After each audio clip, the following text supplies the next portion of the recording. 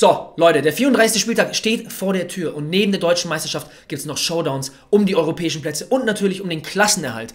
Für mich persönlich ja, geht es auch noch um was, denn ich möchte eine dreistellige Platzierung in der Championship haben. Aber es soll heute nicht nur um mich gehen oder um die Akteure auf dem Platz, sondern auch um euch. Und vom 34. Spieltag, bei dem ihr auch die Aufstellungen einsehen könnt am Samstag um 14.30 Uhr, fragt man sich manchmal, wofür der ganze Bums hier? Ja, ich sag's euch, denn ich habe ein paar Optionen für euch, die ja vielleicht ein paar Kracher ermöglichen könnten. Und das schauen wir uns jetzt in dieser Folge genauer an. Viel Spaß, geh mal rein.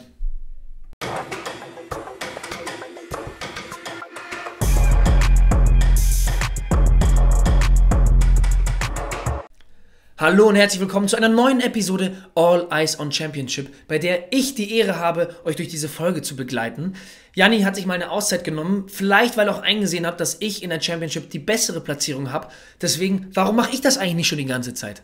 Naja, ich habe ja auch schon gut daneben gegriffen, aber ich glaube, vor dem 34. Spieltag gibt es super geile Optionen aufgrund dessen, dass man die Startaufstellungen einsehen kann. Und deswegen kann man viele Hochkaräte aufstellen, aber ihr wisst ja auch, ohne Moos nichts los. Deswegen müssen wir aufs Budget achten und ich habe zu Beginn erstmal vielleicht ein paar geile Lückenfüller, die euch nicht nur Punkte bereichern könnten, sondern auch die Möglichkeit schaffen, eben die großen Granaten aufzustellen. Schauen wir mal rein. Also wie Janni 1 zu 1 den Bildschirm farblich übernimmt, keine Ahnung, aber kein Problem. Ich zeige euch die Spieler einzeln, ihr werdet alles erkennen. Deswegen beginnen wir im Tor. Da kann man nämlich sofort Budget sparen und sich auch geile Punkte rauskratzen. Vor allem, wenn wir hier weit scrollen. Darum geht es ja jetzt erstmal im ersten Teil. Ihr seht also unter einer Million Olschowski, Bredlo und ab 2 Millionen Kubek, Schwebe, Schwolo und dann eben auch noch Fährmann ab 3 Millionen.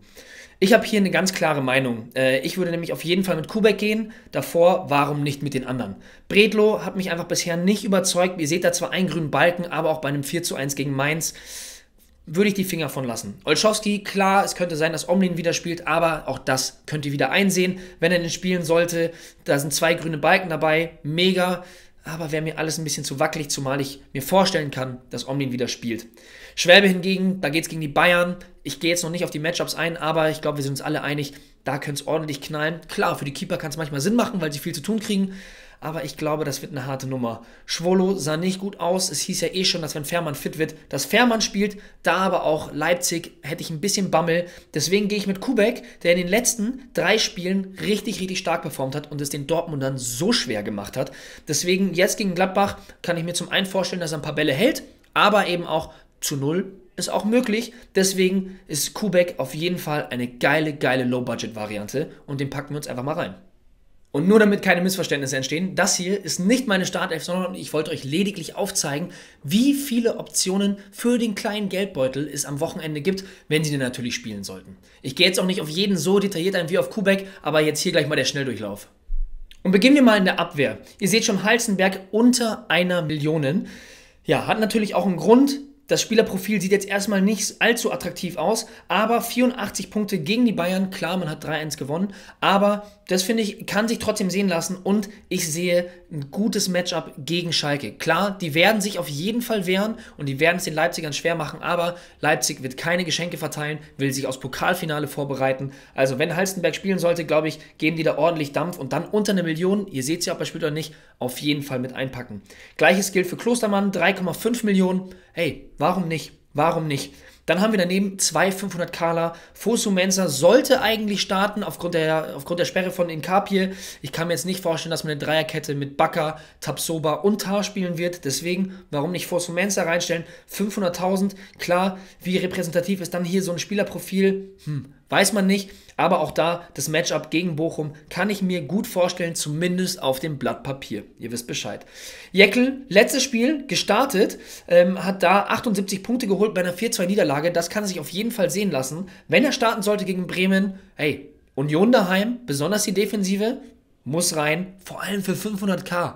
Klar, und dann kommen wir auch schon zum Mittelfeld. Und ihr seht ganz oben schon Amiri, ein weiterer Spieler von Leverkusen, der ebenfalls von einer Sperre profitiert, denn Demir Bay ist gelb gesperrt. Das bedeutet für ihn sehr wahrscheinlich die Startelf. Wir können auch mal hier ins Profil reinschauen. Klar, da sind so ein paar Kurzeinsätze dabei, das sieht dann nicht so geil aus, aber dann auch gegen Leipzig, erinnert euch, mit dem Elfmeter, das kann auf jeden Fall Sinn machen. Er wird sie dann wahrscheinlich auch treten, kann ich mir gut vorstellen. Und dann von Beginn an gegen Bochum, wie gesagt, ich will Bochum überhaupt nicht unterschätzen, die können sich immer, immer wehren, haben das auch sehr gut gemacht in den letzten Wochen, aber auf dem Blatt Papier ist es ein Matchup, mit dem man auf jeden Fall gehen kann und wir reden ja hier auch von den Lückenfüllern. Deswegen, ja, Amiri für 2,5 Millionen, auf jeden Fall eine gute Option. Mit Haidara haben wir die womöglich teuerste Personalie mit 5,6 Millionen. Ich habe ihn einfach mal reingepackt. Kampel könnte auch spielen. Kampel ist sogar noch günstiger. Ähm, ja, ich wollte jetzt nicht beide aufstellen. Es geht auch gar nicht, weil es zu viele Leipziger sonst gewesen wären.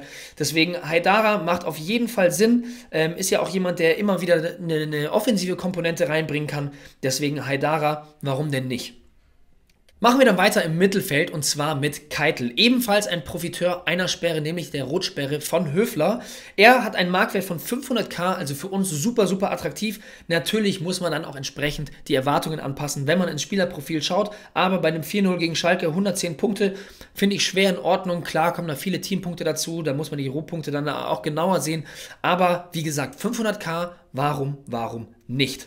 Loschek habe ich auch nochmal mit reingepackt. Einfach ja als, als Möglichkeit im Sturm. Klar, Asmun könnte auch spielen.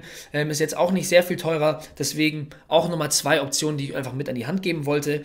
Beenden tun wir das Ganze dann im Mittelfeld mit Leiduni. Wir gucken da mal rein. Oh, zwei grüne Balken, zwei Tore bei 590k. Ja, da besteht natürlich eine gute Chance auch auf die Startelf. Und warum soll das nicht ein drittes Mal machen? Das sagt man immer so einfach, aber wenn man sich die Form anschaut, warum denn nicht? Ihr habt gar nicht so viel zu riskieren. Nochmal, Lückenfüller, 600k, zwei Kisten in den letzten zwei Spielen. Hey, warum nicht? Warum nicht? Deswegen, Leidoni, auf jeden Fall auch eine gute Option, meiner Meinung nach. Und im Sturm, ja, Asmun habe ich schon erwähnt, aber ich fand sehr, sehr spannend. Ein bisschen über 500k, hat so ein bisschen über die Schwelle geschafft. Luca Waldschmidt hatte da auch bei seinen Einwechslungen gute Leistungen gezeigt, hat dann eben auch das Lob von Kovac geerntet. Und da kann ich mir vorstellen, hm, vielleicht steht er in der Startelf. Wenn er nicht in der Startelf steht, würde ich ihn als Joker nicht bringen. Da bin ich auch zu ehrlich. Ähm, das wäre mir zu riskant. Da finde ich, gibt es andere Spieler in dieser 500k-Sphäre, die mir da deutlich besser gefallen oder sicherere Punkte bringen. Ähm, Deswegen, nur wenn er in der Startelf steht, könnte es man, könnte man mal probieren. Gegen die Hertha, klar, die haben auch nichts mehr zu verlieren. Die könnten vielleicht frei aufspielen, aber grundsätzlich muss man sagen, gegen den Absteiger müsste man ihn dann bringen, bei dem Marktwert und bei der Aussicht nach dem Lob. Also, warum machen wir das Ganze hier? Natürlich, zum Spaß. Der steht an allererster Stelle, aber den hat man natürlich auch, nur dann, wenn die Punkte geil reinrasseln. Und wenn ich mir jetzt meine Platzierung anschaue, bin ich schon eigentlich ziemlich stolz. Platz 1400 da in der Gegend rum, aber ich sehe auch zwei Highscores bei mir in diesen Top 5. Das sind 1478 und 1609. Die sollte man auf jeden Fall toppen können. Besonders mit dieser super geilen Möglichkeit, dass wir alle Aufstellungen einsehen können. Und da gibt es nämlich ja, geile Hochkaräter, die ich mir in mein Team packen möchte. Aber ihr kennt's, das Budget. Deswegen haben wir uns diese Spieler rausgesucht, damit ich mir gleich eine richtig, richtig krasse Elf raussuchen konnte. Aber davor schauen wir nochmal ganz kurz auf den Spieltag. Als selbsternannter Fußballromantiker will ich natürlich Stuttgart siegen sehen. Ich will Bochum siegen sehen. Und ich will auch Schalke gegen Leipzig siegen sehen. Aber als Kickbase-Manager muss man eine ganz andere Brille aufsetzen. Oder zumindest die andere absetzen. Je nachdem. Nichtsdestotrotz muss ich humorlos rangehen. Ich will meine Highscores knacken und deswegen gibt es da kein Erbarmen. Auf dem Blatt Papier ist Leipzig die stärkere Mannschaft. Gar keine Frage. Deswegen will ich Leipziger aufstellen. Dortmund wird aus allen Rohren schießen. Gegen Mainz auf jeden Fall aufstellen. Und auch die Bayern wollen dann nichts dem Zufall überlassen. Deswegen sind das drei Teams, auf die ich auf jeden Fall gehen möchte. Und das ermöglichen mir meine Lückenfüller. Schauen wir rein in meine Aufstellung. Und da ich ebenfalls all in gehen muss, will ich viel Offensive aufstellen und deswegen gehe ich mit einer Aufstellung, die ich liebevoll das Formel 1 Auto nenne, nämlich 4-2-4. So, und das sind sie, meine drei auserwählten Lückenfüller. Und das meine ich so lieb, wie ich es nur meinen kann. Kubek, Fosumensa und Kampel. Fosumensa, falls er dann doch nicht starten sollte, könnte vielleicht auch ein Jeckel tun. Ihr habt ja gesehen, was es da in der Abwehr noch für Varianten gibt. Vielleicht noch ein Halstenberg, vielleicht noch ein Klostermann, je nachdem, was halt hier eben abgeht. Und was mir diese drei Spieler jetzt ermöglichen, das zeige ich euch. Denn ich konnte meinen Augen selber fast gar nicht trauen. Ich baller jetzt erstmal die Abwehr voll und ich muss, glaube ich, zu keinem von diesen Spielern überhaupt irgendwas sagen. Linker Verteidiger, ich muss nicht scrollen, Joao Cancelo. Innenverteidiger, ich muss gar nicht scrollen, Matthias Delicht. Rechtsverteidiger, ja, da müsste ich scrollen. Ich tippe es aber einfach mal ein, nämlich Mazraoui. Den packe ich mir auch noch mit rein und schon ist meine Viererkette voll. Ihr seht also schon das Vereinslimit direkt ausgeschöpft bei den Bayern mit drei Personalien in der Verteidigung. Dann muss sich Kampel ja auch wohlfühlen, deswegen habe ich noch zwei weitere Brauseboys, nämlich im Mittelfeld einmal Soboslai, No-Brainer und im Sturm kein geringeren als ein Kunku, der auf jeden Fall Bock auf die Torjägerkanone hat. Deswegen glaube ich, wird der richtig, richtig Gas geben. Und ihr kennt ja jetzt schon ein Muster. Drei Bayern, drei Leipziger und drei Positionen sind noch frei. Ich habe es vorhin gesagt, humorlos. Ihr könnt euch vorstellen, was jetzt kommt. Und ihr seht auch noch das Budget. 80,8 Millionen. Deswegen packe ich mir rein den guten Adiemi, den guten Alea und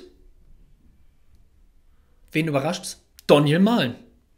Und somit steht meine 11 und ich habe noch 4 Millionen über. Das heißt, ich könnte hier und da nochmal ein bisschen taktieren, ein bisschen umstellen, wenn es bei den Aufstellungen irgendwelche Überraschungen gibt. Aber ehrlich gesagt, ich habe keine großen Bedenken. Und wenn ich mir die 11 so anschaue, dann ist es ein ordentlicher Brecher. Klar könnte man überlegen, ob man in der Offensive nochmal auf Bayern geht, weil die da auch alles geben werden. Aber offensive Akzente sehe ich auf jeden Fall bei Cancelo, Masraui und Delicht eh eine Bank diese Saison. Deswegen habe ich mich in der Offensive lieber für die Dortmunder entschieden, die sowas von in Form sind. Ein Kunku, wie schon gesagt, die teure Kanone haben will und Soboslai, ja, auch Dauerbrenner. Deswegen sieht das für mich nach einem ziemlichen Brett aus und ich hoffe, dass ich da zumindest die 1478 Punkte, die ich auf jeden Fall knacken muss, knacken kann. Ich habe aber keine Bedenken. Was meint ihr? Schreibt es in die Kommentare, ob ihr der Meinung seid, ob ich die knacken kann. Aber irgendwie, ich, ich kann mir nicht vorstellen, wie das nicht passieren soll. Ich kann es mir nicht vorstellen. Was ist das für eine geile Elf? Natürlich ist man von seiner eigenen Elf immer hyped, weil sonst hätte man sie ja so nicht aufgestellt. Ich finde aber, wenn man hier langsam durchscrollt, liest sie sich sehr, sehr, sehr, sehr gut. Bitte, lasst mir eure Meinung da. Vielleicht sagt ihr auch, Alter, Junge, Schalke will sich sowas von wehren, Leipzig holt da gar nichts. Bitte schreibt es in die Kommentare. Ich bin sehr gespannt auf eure Takes, aber ich glaube, das sieht schon sehr, sehr gut aus. Und wie ihr vielleicht wisst, bin ich definitiv kein Zweitliga-Experte, deswegen müssen wir den Abstrich heute machen. Aber keiner von euch hat den MVP richtig getippt. Das könnt ihr für die zweite Liga natürlich jetzt auch wieder machen. Schreibt es unten in die Kommentare, den Spieler ausgeschrieben, richtig in der korrekten Schreibweise und eine Punktzahl. Und dadurch, dass es keinen MVP-Tipper gab, stelle ich euch heute Benchs Championship-Aufstellung für die zweite Liga vor. Und so sieht das ganze Ding aus. Hoffmann im Tor, Siersleben, Benkovic, Donkor in der Verteidigung, im Mittelfeld Beste, Kittel, Benesch, Saad und Metcalf und im Sturm Kleindienst und Königsdörfer. Ich könnte euch jetzt was erzählen, bringt aber nichts, deswegen lese ich euch einfach vor in Bench-Manier, was er mir dazu gesagt hat. Und ganz ungefiltert versuche ich das im Bench-Style zu machen und lese einfach ganz frech ab. Hamburg und Heidenheim mit Endspielen müssen jeweils drei Reihen. Jatta und Reis gesperrt, damit Königsdörfer und Benisch Ersatz. Kittel aktuell Mann der Stunde. Heidenheim Tandem, beste Kleindienst und Siersleben, weil Budget eng. Pauli zwei Offensive, weil ich viele Tore erwarte, beide sehr günstig. Braunschweig braucht noch einen Dreier, um safe zu sein, gehen auf Clean Sheet in Rostock, auch drei günstige Abwehrspieler, Torhüter und Donkor, immer mal für einen Scorer gut. Was sagt ihr dazu? Ist euer MVP da dabei? Nochmal der Hinweis, schreibt den MVP unten in die Kommentare rein. Wir überlegen uns da eine schöne Überraschung für denjenigen, der das richtig tippt. Bevor wir hier zum Ende kommen, auch nochmal der Hinweis, dass es für den letzten Spieltag natürlich auch wieder viele Challenges gibt. Outfitter X Adidas, die Crunchtime Challenge, sehr, sehr geil, auschecken. Matchday Challenge mit dem Saisonfinale und auch Willi vs. Jamie Leveling. Also, es gibt einiges zu tun, ganz viel Spaß am Wochenende. Ja, und ich habe jetzt die große Ehre, die letzten Worte nicht nur für diese Episode, sondern für die ganze Saison zu finden. Denn ihr wisst, zu 95% der Zeit steht Janni hier und versucht euch mit Content zu versorgen. Deswegen auch von seiner Seite aus ein riesengroßes Dankeschön für alle da draußen, die eingeschaltet haben, einen Daumen nach oben dagelassen haben, die abonniert haben und vor allem die unten in den Kommentaren drin sind. Denn der Austausch mit euch macht so viel Spaß. Es ist richtig geil, immer mal zu gucken, was sind eure Meinungen, wo hat man falsch gelegen. Es macht einfach unglaublich viel Spaß. Deswegen vielen Dank an der Stelle, vielen Dank für euren Support und wir hoffen, dass wir euch nächste Saison wieder begrüßen dürfen, wenn es heißt All Eyes on Championship. Ich wünsche euch einen geilen Spieltag. Bis nächste Saison.